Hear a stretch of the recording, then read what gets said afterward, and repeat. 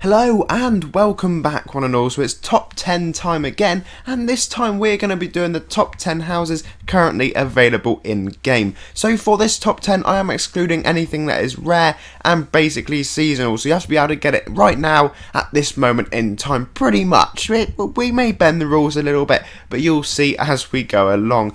Pretty much anything on here on the wiki, not rare at all, so you can go along and attempt to get them hopefully. Some of them you may need items but but we'll get into that. So at number 10 we have got the Treehouse. This is available from the house shop at Join Buy House which you can see me doing in the background and it costs a whopping 1000 adventure coins but I do think it is a pretty nice house.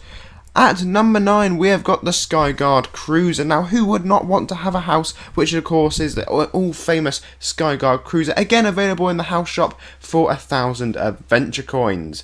So moving on to number 8 we have our first merge house the Loremaster University. This is available from the Librarian merge shop and requires rank 10 Loremaster and of course some other merging gear. So coming in at number 7 we have got the Hyperium. This is a nice easy buy. This is of course a J6 shop and you can get it for a whopping 1000 gold. I personally have it and I think it is pretty cool. Nice few teleporters and I think there's about 4 rooms to this house so it's pretty decent. At number 6 we have got the Bone Castle house. This is available from the merge shop at the Castle of bone. Now this is a fairly easy one to get, it only requires a few merge items, so a bit of farming and you'll get there.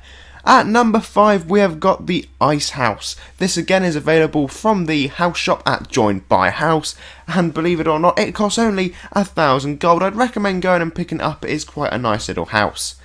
At number 4 we have got the Starship House. This one requires you to gather 100 scrap metal and it's available from Dread Space. So you can join along there and you'll be able to get this lovely version of the house.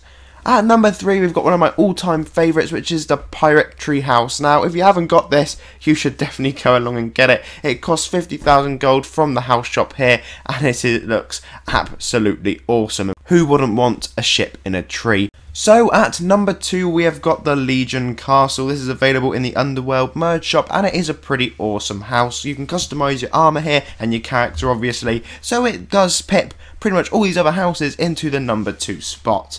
But at number 1 we have got the Nulgath Nation house. This is pretty much exactly the same as the Legion Castle except you have got a room which gives you some quests. There's a little NPC hidden away in there. So that's the reason it pipped the Legion Castle to the number 1 spot. So as always, thank you very much for watching. Don't forget to leave the video with a like and of course subscribe. And if you have any suggestions for top 10 ideas, make sure you leave them in the comments down below.